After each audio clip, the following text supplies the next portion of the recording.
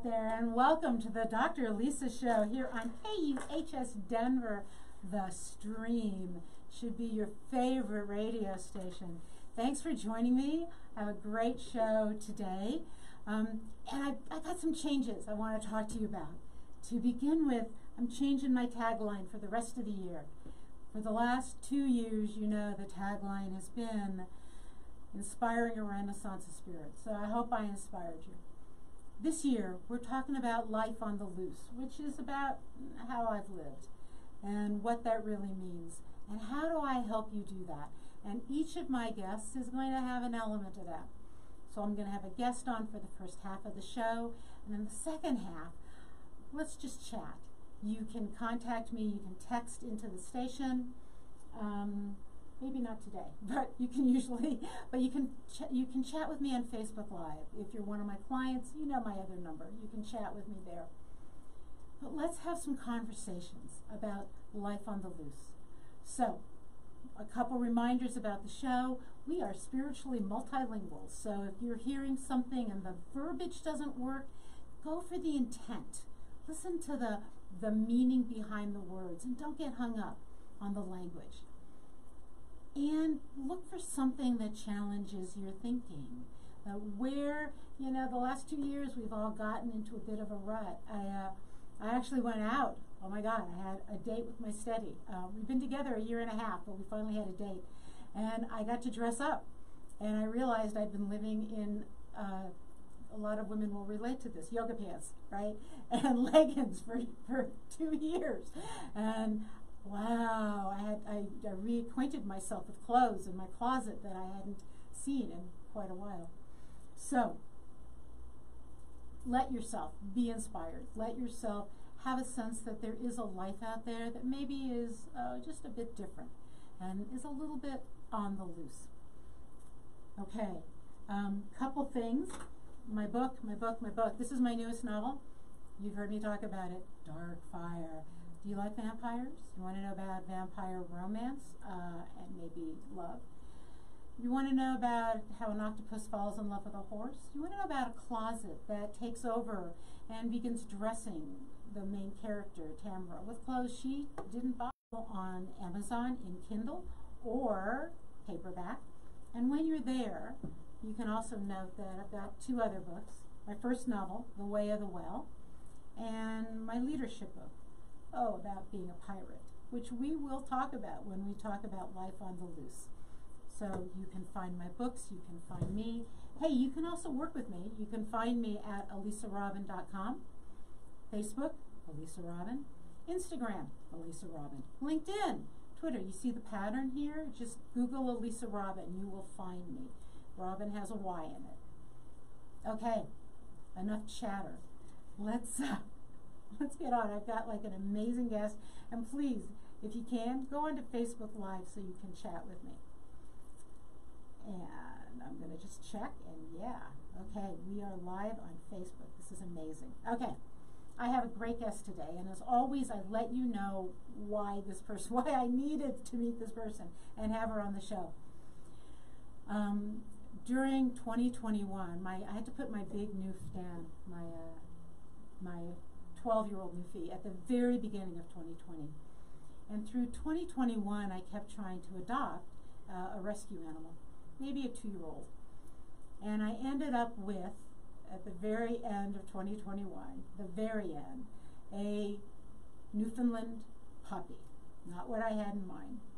Brought her home, great dog, really great dog, who bit my hands, bit my toes, really had an attitude, really was sassy, still is, has a personality, and I wanted to train different.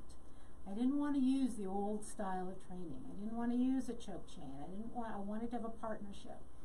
And this woman, Pat Blocker, was recommended to me for her SIT program, which she's going to talk about. And because not only is she a trainer, she is she comes at it from a different point of view. And I'm going to let her talk about that. Pat, welcome to the show. Hi, how are you? I am. Thank you for having me. Oh, this is going to be so fun. So, here's where I'd like to start.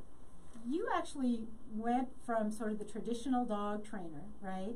And maybe Mhm. a bit of a skeptic about connecting psychically with a dog or animal communication, and then you went to the dark side, right? You went all the way over there to let's train differently. Let's relate to our dog. Dogs are our teachers, our metaphors. They can talk to us. Just tell me about the journey. How did you go from skeptic to to, to more than believer, but um, sort of a powerful communicator and teacher? Well, um, I am a certified professional dog trainer. I have been doing this for over 20 years. Uh, my business is Peaceful Paws Dog Training, so the the uh, name of my business maybe clues you in a little bit, but um, yeah, and so I'm also an author and an animal communicator. So um, I started out, um, I'm actually a crossover trainer. I did used to do the compulsory um, choke chains and so on, and um, I now am doing uh, more positive and minimally aversive methods. Mm-hmm. So um, it's science based, but I also have begun to blend it with um, more mindfulness and intuitiveness. And uh, that is what my SIT program is about, which we, we will be talking about. Um, SIT is S I T T, it's for uh, science, intuition, trust, and uh, training. So, um, when I wrote my uh, second book called Letting in the Dog, my intent was to just touch on animal communication. Uh, I was really talking about um, opening our hearts and our minds to a deeper understanding with our dogs. And uh, so I got into researching animal communication and I really was fascinated with it.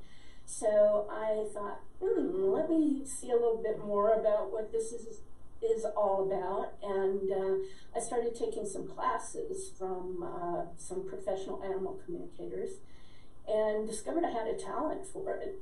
Wow. And uh, uh so I had heard before, uh, you know, my opinion of animal communication was that um, I was open to it, but certainly had a, a healthy dose of skepticism. Mm-hmm. And um, so, but I had heard people say that they had uh, used the services of animal mm-hmm. communicators, and they're like, wow, I can't believe, I, you know, there's no way she could have known that about my dog or uh, whatever animal. And um, so I ended up coming at it from the opposite direction, where I started practicing and studying animal communication. And as I was working with my online study groups and uh, doing readings, uh, I was saying, wow, I could not possibly have known that. so, yeah, so uh, that's kind of how I came at it. Um, and it's still quite validating still when I whenever I get something spot on in a reading. Um, and now I'm offering it in conjunction with training.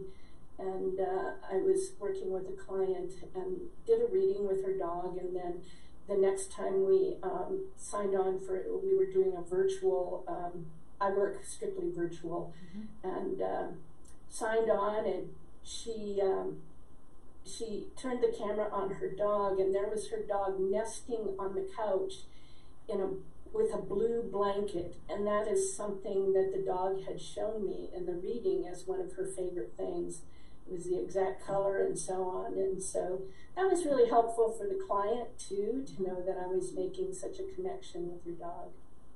That is that is amazing, and you know um, you you don't know this about me, but I came came out basically on this radio station as yeah I've got a PhD yeah I'm an I was an academic dean. Oh yeah I'm also a psychic I channel I I actually have one of my crystal balls with me today somewhere. Oh there it is. Um, you know put myself through school as a professional astrologer. So I it's that's I think why we connect. We've got that blending of sort of science and that whatever that other stuff is. So Okay. you do work virtual with people. Yes. And why don't we talk about that sit because that is fascinating to me that it's science, it's intuition, it's trust.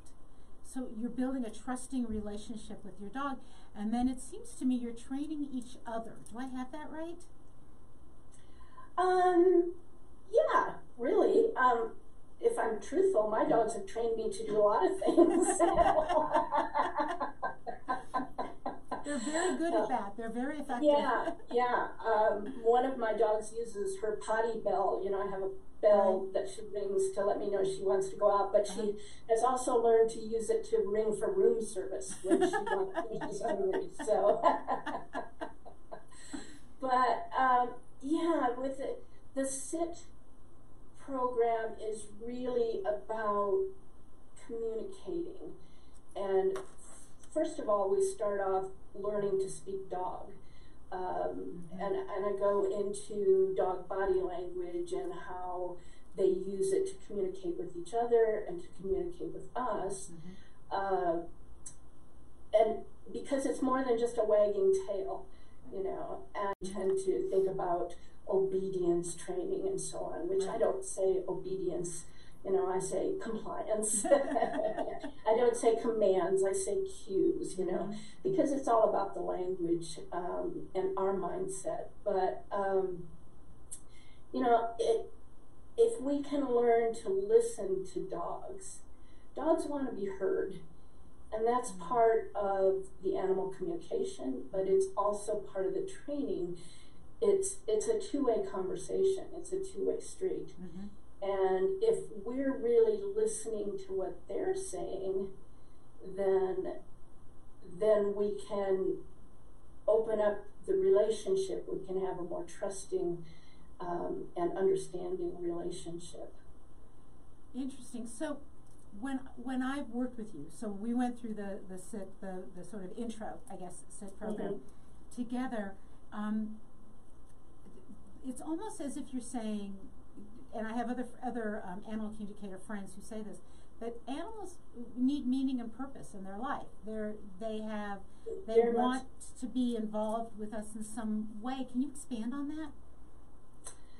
Um, yeah, I mean, they have as much to teach us as we have to teach them.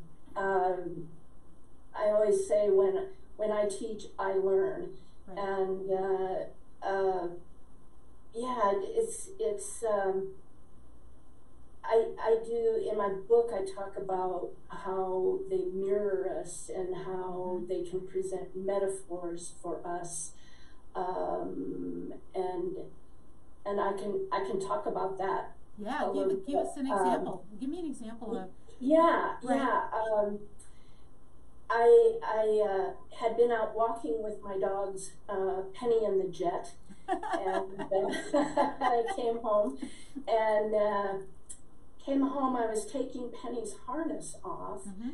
and I looked up to notice Jet standing in the kitchen doorway and he was just frozen there Mhm.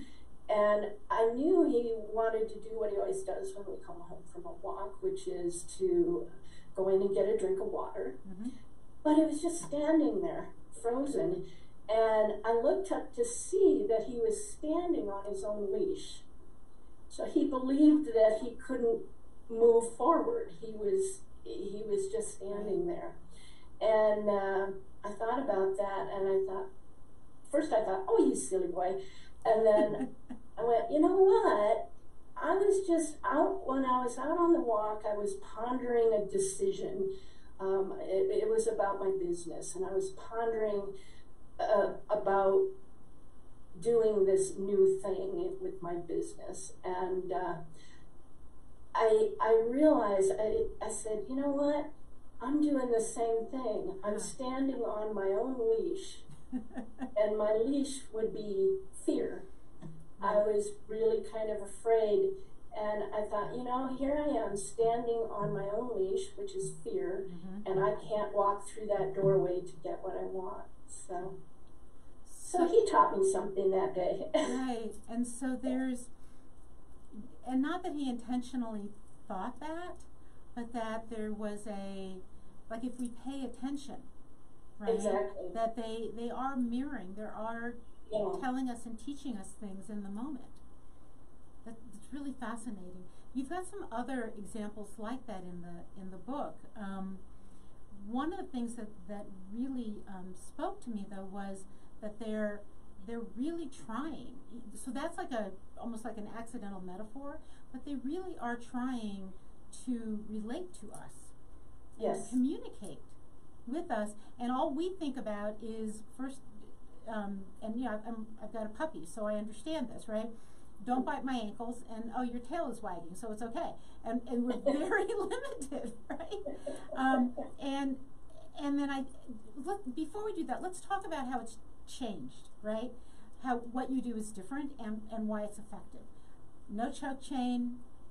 We have cues at the trust part of sit with our dogs. hmm Well, we're first of all communicating and and letting them know that they're being heard. And that's not necessarily like my SIT program. I'm not teaching people to be animal communicators, Mhm. although we we all are. Mm-hmm. We just we just need to realize that. Um, but opening up and and just hearing them, listening to them, and not coming from a place of do this, do that, don't do this, don't do that. I- think like with children, you wouldn't you wouldn't say don't do that, don't do that, don't do that. You need to communicate and say here's what you do, here's what we want you to do. Here is something to do yeah. that's appropriate. you want to Yeah. channel channel that energy differently. Um, and I have seen with clients and with their dogs, I have seen the dogs uh, almost go, "Ah, they get me. this is what I've been trying to say. oh, that's great. Because we've moved from the notion of I gotta be the alpha, right, which is a completely false I mean that's not even what wolves do, right? Okay. To Right. this um this dog has something to offer. We're partnership. And I have a working breed and they were then bred not to be told what to do, but to think, right? Mhm. Um, how does that breed element sort of come in, in into into that? Like I've got a working breed dog. Sure, sure. Well, first of all, that you understand that. Mm-hmm. You know, um, sometimes I work with people who are, you know, it's like, can you teach my beagle not to sniff so much when we're out on a walk? like, well, no, but here we can help you to to communicate better. You know, Right. uh, we can get you engaged more and and that's the whole thing is engaging and and that mindset you know you talk about alpha and um, being in charge and i i always say that you know living with a dog is like parenting it's like you know the, I, I often say, uh, you know, would ask, you know, would we treat our children that way, Mm-hmm. you know, um, and uh, uh, and sometimes it just people just need to hear that. Um, Mm. is that oh really? You know, some of my favorite uh, clients are uh, well parents of young children or elementary school teachers and therapists Oh, because interesting. wow they yeah uh, get it. but it's just like oh i never thought about applying that to my dog so That's fascinating. So let's do a little bit of advice, okay? Because I think I shared this with you. Um, I have a puppy. She's a great dog. She's truly a great dog. She's, um, and to give people a notion, if you don't know what a Newfoundland is, I have a five month old puppy who's 57 pounds. So my five month old puppy is most people's definition of a good sized dog. And we're a little over halfway to where we're going to go in size, right? Um, and she's an ankle biter, just me. She doesn't necessarily she does if there's other people around in the house she might you know she likes feet. And I'll be getting dressed I'll be doing something uh, if I and she's biting my ankles. And this this morning it's the second time I've done this I've taken apple bitter spray and sprayed my feet my ankles and my shoes to get her to stop biting me. And there's clearly a message here because she she does it continually and I I don't know what to do. I don't want to lose my temper. But I, I and so how would you work with me on this? oh boy, I hear you on that one. Uh, those, uh, she probably still has some of her puppy teeth. no, we have full, a full adult mouth. Okay. Good, because oh, those puppy teeth They're like needles. Or- They're like yeah. oh my gosh, yeah. Yeah. And that's because when they're small, they are their jaws are not very strong, so that's why their teeth are so sharp. Oh, But um, the first thing I would recommend, uh, well, there's there's no really no problem with spraying yourself with apple bitter, um, but it could eventually, you know, it's a management tool, but we also Right. want to put in some training. Um, and it could get inconvenient and expensive, so. and silly. I wonder also what I smell like when I walk. Yeah. it's not What my favorite perfume. but um, yeah, and and so the first thing we want to do is just understand that what she's doing is normal, absolutely normal. okay. Um, I, I currently live with three German Shepherds, and two of them are adolescents. Mhm. So they're constantly reminding me to walk my walk. Um, so the first thing I would say to you is just your mindset is that this is normal, this is what puppies do. And in fact, it's important because that's how they learn bite inhibition. That's how they learn to control their mouths. So, Oh. like when they're with their litter mates, they're playing, and if if they bite down too hard, what's going to happen is the the other puppy is going to yelp um, and then leave. so the puppy's learning, hmm, I bit down that hard, and that meant the game was over. Mm-hmm. So we can essentially do the same thing. Is when she's doing that, you can ouch, um, to if you can stand still, and it's like, well, this is really not that much fun. Mm-hmm. No, it's Uh, not fun at all. Yeah, it's like what you know. I and, and now if we go no, oh, ow, get away from me. Um, that of course is going to stimulate her. Um, Because that means I'm but- playing. That seems like Yeah, we're playing yeah. the game, right? I will admit, that's- I have, if I'm near a door, I have gone on the other side of the door and closed the door. And that's exactly one of the things I was going to recommend that Okay. you do. Okay. Um, so we can we can yelp and we can redirect with something that's appropriate, like Okay. a toy. Um, you can also do that where it's, and I suggest that people, when they're playing with their puppies, maybe set themselves up where you're in a room that's, you have a baby gate, and it's like, ah, you just bit me, and so, oops, I'm gonna go away. So then the puppy is learning, well, that's exactly the opposite of what I want. Okay. Oh, I just lost you. Pat, can you hear me? I just lost you. Can you check? and make sure- Okay. Oh, there you are. You're back. You're oh, good. Good. Yeah, Who I did not touch anything. Like, you know what? I'm just computers are just being very weird Oh, right now. yeah. I'm just surrendering to it. Uh, whatever. yeah, mine was challenging me this morning, and I was like, no, not today, please. So I want to not play. I want to somehow Right. communicate to her in a in an appropriate way to stop this. I'm clearly Yeah. failing at this because we do this every single day. Um, Mhm. One of my friends said, "I think she came. She like came to you as your dog to make you more playful." Which would be great, except that this isn't making me more playful. Yeah. well, right, and you said, you know, I don't want to lose my temper, and, and obviously that's not gonna gonna be helpful. So um, Another thing I suggest you do is teach an incompatible behavior.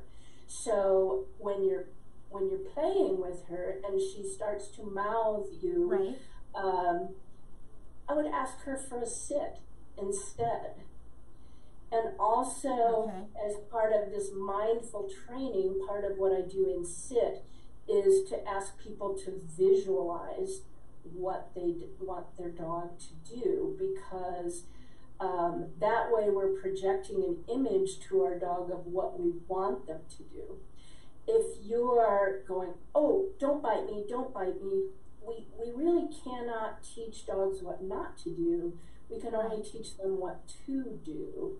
Okay. Uh, so I would visualize having her do a sit, mm-hmm. asking her for that sit, rewarding her for that sit with um, either a treat Mhm. or um, a favorite chew toy, um, and your attention as Mhm. well. Mm-hmm. So, um, so if she's sitting, and then pretty soon she learns that you know sitting is magical. Um, I call it the magic butt syndrome. They're like, if I put my butt on the floor, really good things happen. Right. Yeah. So I would give that a try. Okay. I'm also trying to teach her inside voice, um, or or you know, say please inside voice. And so what I'm working on it because what'll happen is she barks at me, and probably lots of the listeners have this experience too. And if you've just tuned in, I am talking to Pat Blocker. Um, Pat, repeat how she's an amazing trainer, animal, animal communicator.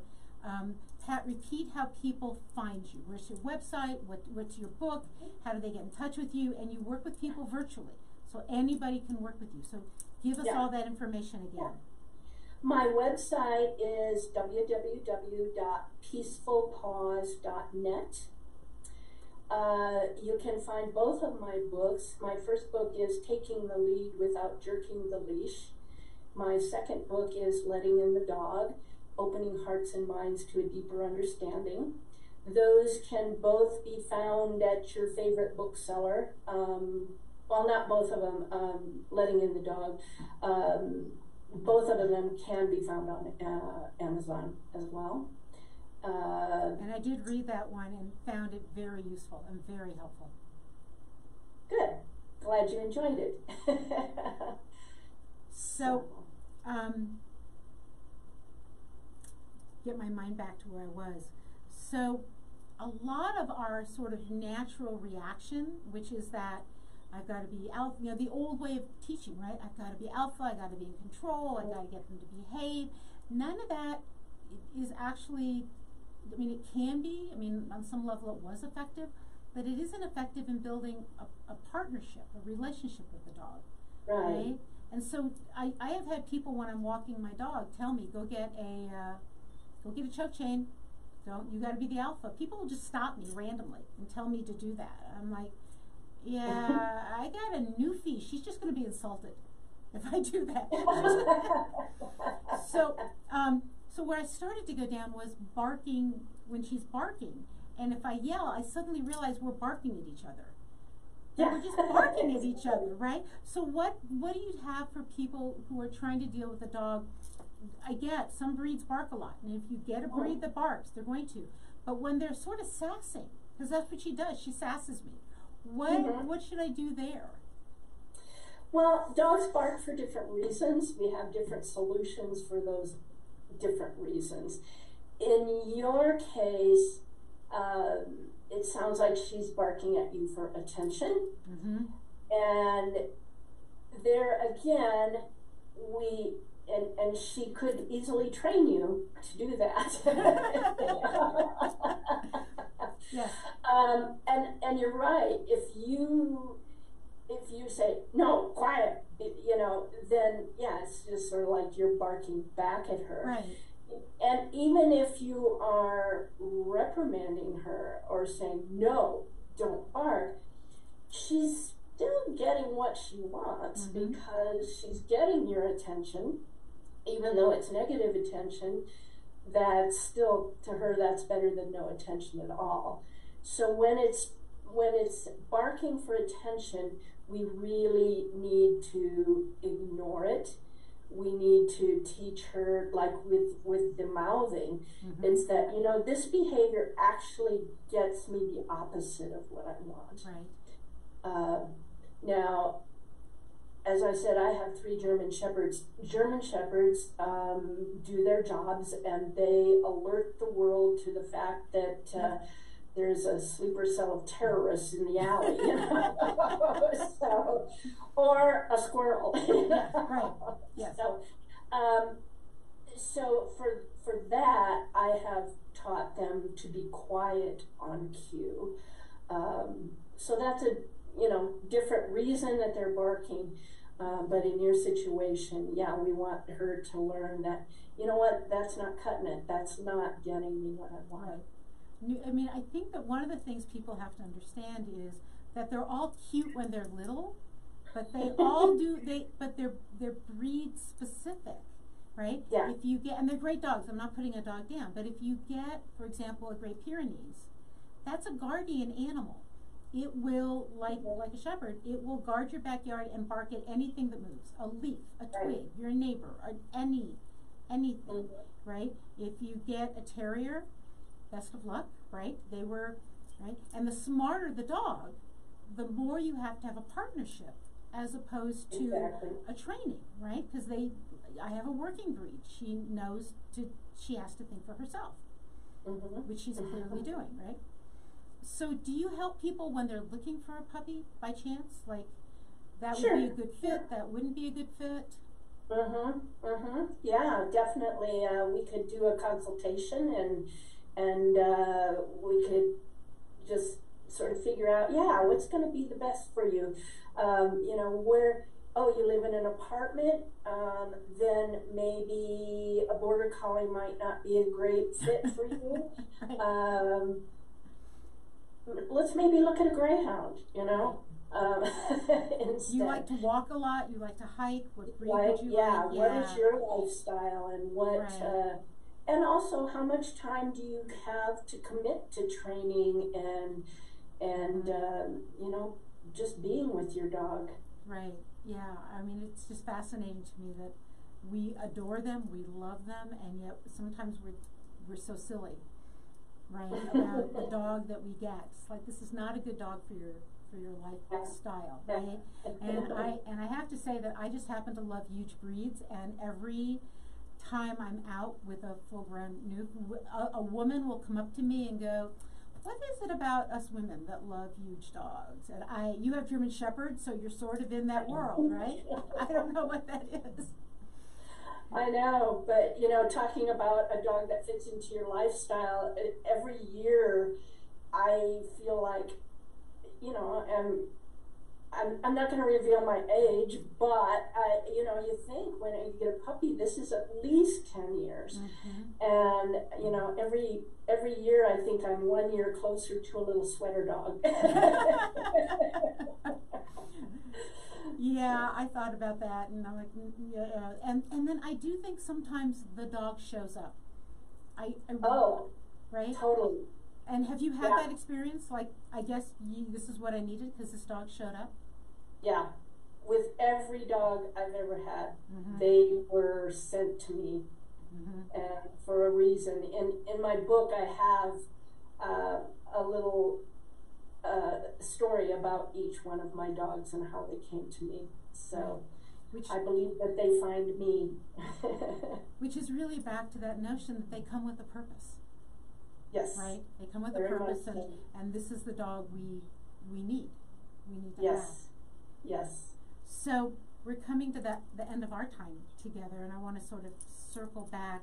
What what do you really want people to know about this this work that you do? And again, we'll end with how you they get in touch with you. But what do you really want them to know about why they why they would choose to work with you? And again, it's virtual, so they can be anywhere on the planet. Right. Yeah. That's Mhm. the, and and that's awesome uh, that I get to work with anybody. I'm not limited to a service area. Um, really, what I'd like to, people to know that that it's real. The animal communication is real. Mhm. The training is based in science. The communication is based from the heart. Mhm. Um, and combining the two really helps to build trust and understanding.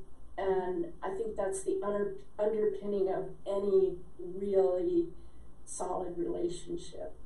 Um, and, I feel to know that dogs give us so much Mm-hmm. and that we can give them so much more just by taking the time to understand them. Mm-hmm. Um, and that's what I mean the whole thing about letting in the dog is letting them into our hearts uh, as they have already let us into theirs.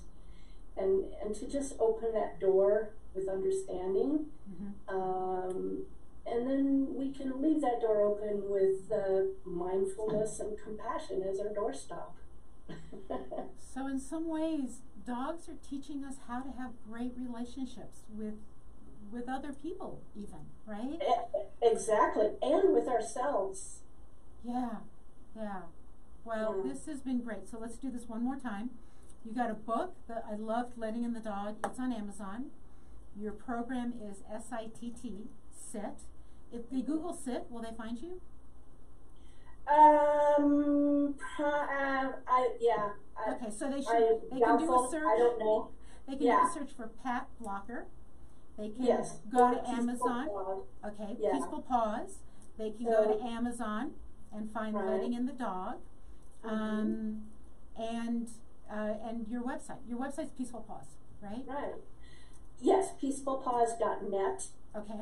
Um, and also there they can they can find the 90 minute one-on-one webinar with me um, like you and I did Mm-hmm. um, and, and also I have a, a sit membership page where uh, with a membership then they have access to the pre-recorded sit webinar and uh, and then also lots of other um, information about training and dog behavior Awesome. Awesome. So again, if you're listening, I, I did the sit training with, with Pat. I've taken, you can tell she's given me great advice for my puppy. Um, I've learned so much from you. You know, when we go for a walk and she freezes, I'm like, well, she's freezing because she's thinking and she's getting information in, and I should just hang out and look at the world while she's doing the same thing. And then we move on. Um, so I've already learned so much from you. So if you're listening, well, you are listening. You're you're listening to the Dr. Elisa Show on KUHS Denver the Stream, and you have an animal. Um, let's specific. Let's do specifically dogs here. But really, I think if you even have a question about relating to an animal at all, reach out and contact Pat. Pat, thank you so much for being on the show. I'm sure Thank we'll you. be back in touch. I'll, I'll we'll update you on the ankle biting and see how that yes goes. please Okay. Thank you. all right thank Uh, you so much for having me Okay, bye. bye-bye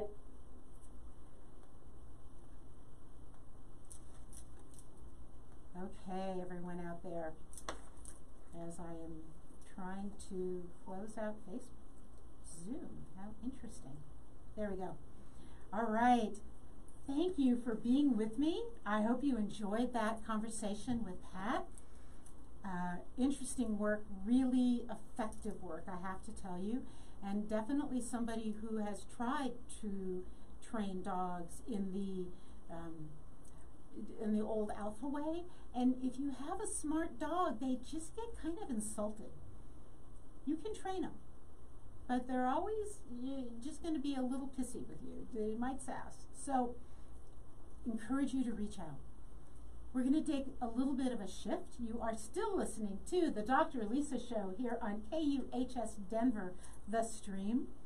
The Facebook site is live and it is open. And I would love to have you connect with me if possible. And just just go to the Dr. Elisa Show on Facebook and you can chat with me. This is going to be the new format from now on. I have some amazing guests coming on, just incredible. But they'll each be on for the first half hour, and then it's going to be us chatting. So I'm hoping that this is like the first time to maybe start encouraging you to do that. And I don't have the phone line set up, I'm sorry, but the Facebook site is open. I'd like you to sort of one on one with me And the topic for the rest of the year is going to be about life on the loose. So let me talk about what that is and why I'm embracing that. Um, I and you can probably tell, right? If I wrote a book about being a leadership using sort of Johnny Depp and Jimmy Buffett as my leadership models, that I've always been a little on the outside of the circle, or maybe just at the edge. In this book, I actually talk about, and you can also get this on Amazon, by the way. Uh, wrote it with my writing partner, Dr. Cindy Miles.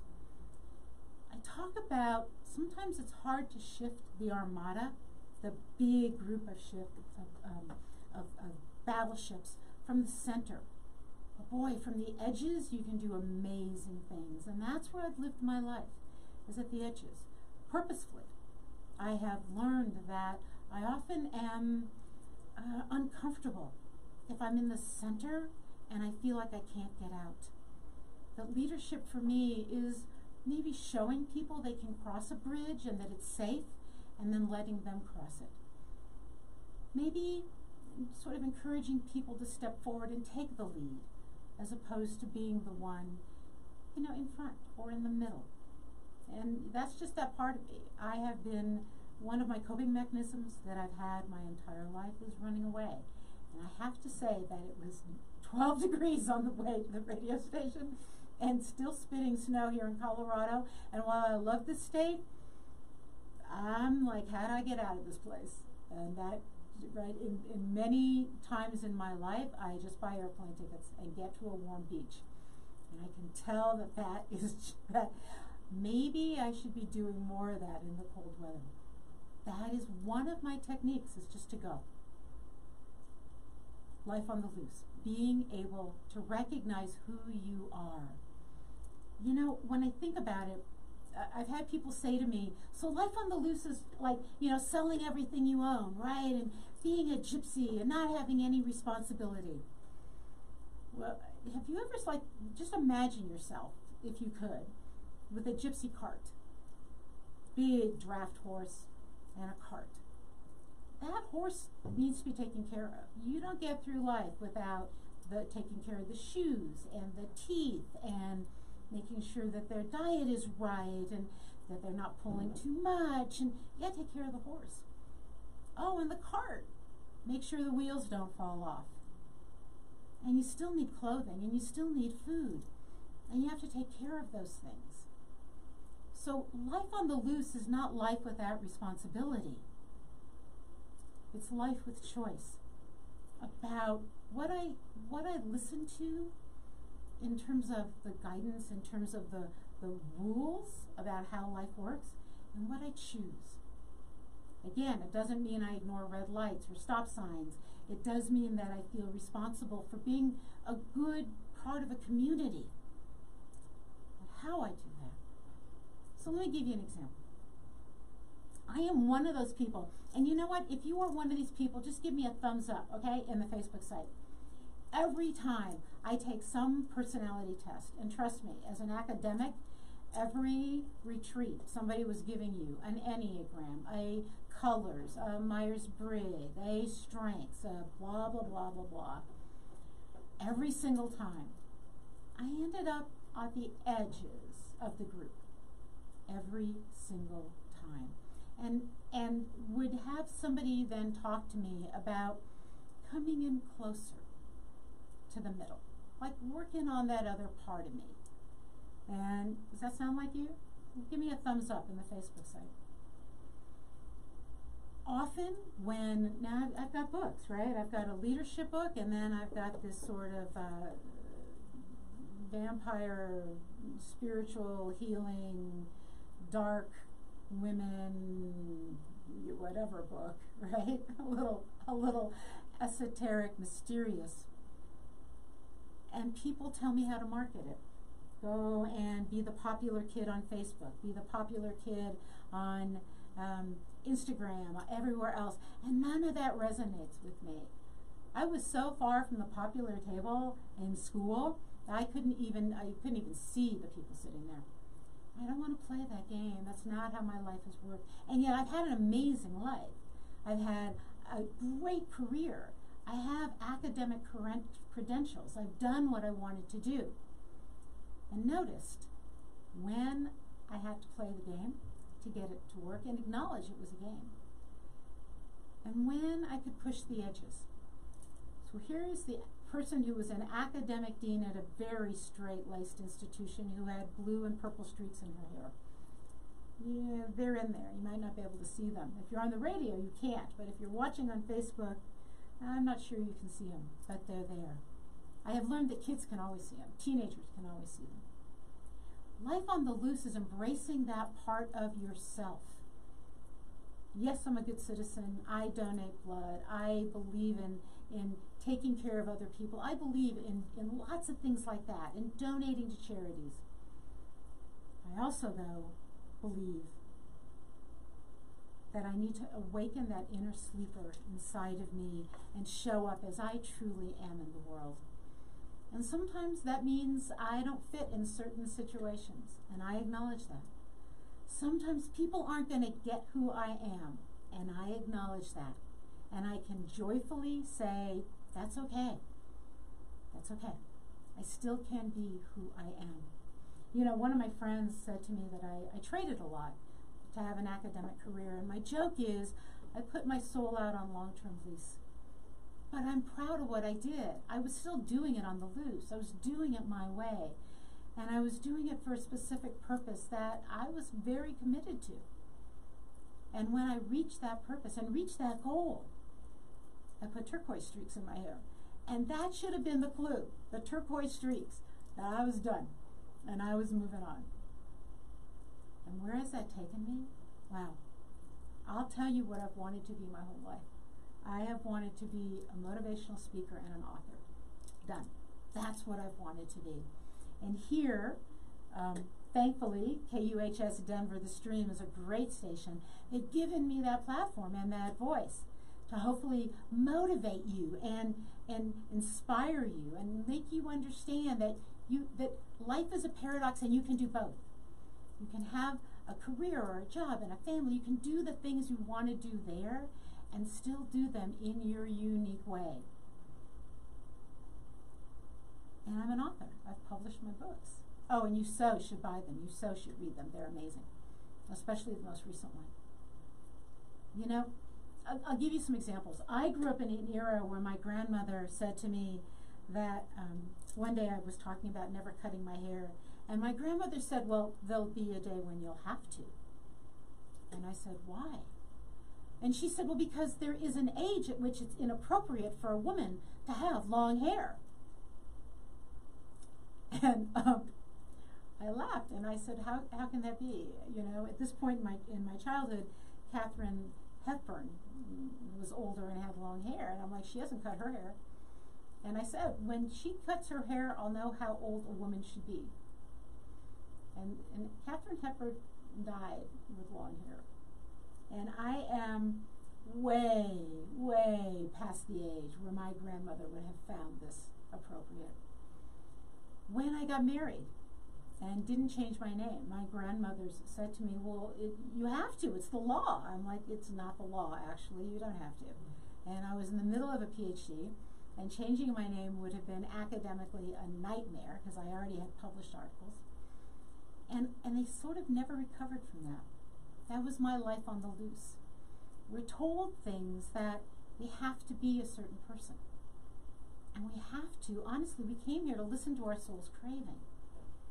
Believe it or not, you are not your political party. And I'm not going down the political rabbit hole here, but I want you to know that sometimes we say things because of what we were taught and what we heard. Cut your hair, dress more appropriately. I worked in a, in a man's industry as a geologist in an oil world, and I refused to dress like a guy, and I have long hair.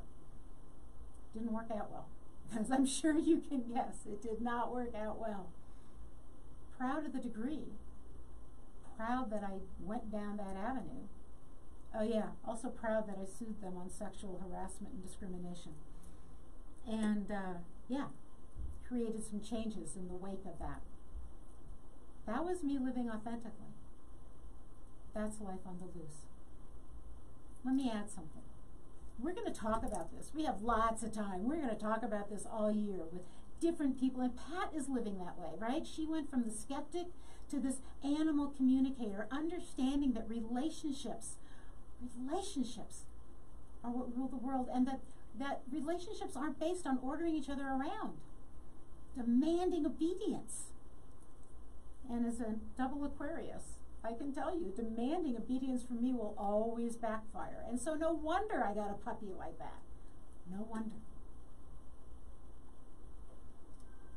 Life on the loose is listening to that inner voice and knowing that the paradox exists. I can do the things I need to do in the world. Have a good job. I mean, I can do those things. I, and, and at the same time, do it the way that works for me. But I have to accept the consequences. Those, those uh, turquoise streaks in my hair and that leading in a way that was pushing for innovation as opposed to recapitulating tradition, that, that, that took me down the exit ramp of my last career. I accept those consequences. I was ready for those consequences. I'm not angry about those consequences. That's life on the loose. Not blaming, living and accepting, living and knowing. Okay, people, this has got to get some of you stirred up. It's got to get some of you interested. I realize this is the first real conversation about it. But from this time on, every time I'm on, I want chatter from you. I want you talking to me in the Facebook page. I'm going to want you texting me in the studio. If you're one of my clients, you know my private line, you can text me there. I want to hear how you're doing that and how that's opening up your shell. How that is opening up the dynamic creative force within you, and that force longs to be expressed. I have to tell you that. You know, Joseph Campbell talked about uh, following your bliss, and one of the things he said that really moved me was that we're not looking to understand life. We don't want to find the meaning of life. We want to have a meaningful, passionate, rich experience of life. And that doesn't mean every moment is joyful. It means we're engaged with it. Yeah, there's laughter, yeah, there's joy, but you know, life comes with heartache. It comes with that. When we try to avoid that at all cost, we just build strong walls around ourselves and we block ourselves off from the reality of living. There's a Buddhist notion of joyfully um, participating in the sorrows of the world, being aware that this is life and I am so happy to be alive. Yeah, I've almost died a few times, and yeah, I've had heartbreak. And I have to tell you, I'm so glad to be here, and especially with you. So, listen, we're like at the end here, and and I'll be back in two weeks with Life on the Loose, another amazing guest. Um, oh my God, I've got so many people coming on. It's absolutely incredible. Um, and a really diverse group of women who've done incredible things and have lived life on the loose in their own way. And I think some of it's going to surprise you. Meanwhile, what I want you to do, I want to leave you with this thought. There are so many ways to live your life. What I want you to do is notice that there's a spark of life within you, a flame, and let that flame burn. Let it burn bright. Let that help you stay well, stay curious, stay inspired, and stay living life on the loose. See you in two weeks. Have a great, have a great inspired time.